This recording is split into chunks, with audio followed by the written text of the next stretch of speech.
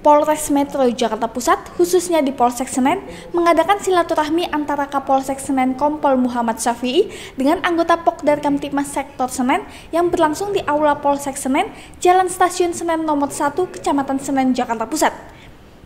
Turut hadir dalam acara tersebut antara lain Kanit Binmas Polsek Senen Ibtu Samyono, Panit 1 Binmas Ibtu Samsuri, Panit 2 Binmas Ibtu M. Amin, Babin Kamtipmas Kelurahan Kenari Aibtu Wardi, serta Ketua Pokdar Kamtipmas Sektor Senen Edi Sismadi dan anggota kurang lebih sebanyak 30 orang.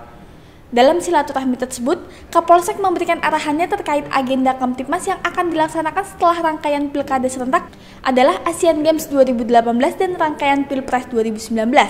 Dimohon anggota Pokdar Kamtipmas membantu situasi wilayah yang aman dan kondusif selama rangkaian Asian Games dan rangkaian Pilpres 2019. Pokdar Kamtipmas harus dapat memberikan contoh kepada masyarakat untuk patuh hukum dan sadar hukum tidak melakukan perbuatan yang melanggar hukum. Sebagai sebagai wadah yang bisa menaungi bermacam suku bangsa ya bermacam profesi gitu ya. Jadi bisa nanti menjadi figur nomor satu. Bisa menjadi figur contoh bagi organisasi-organisasi yang lain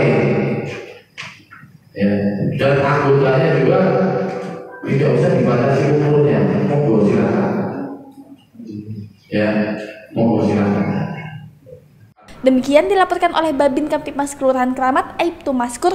Salam Tribata.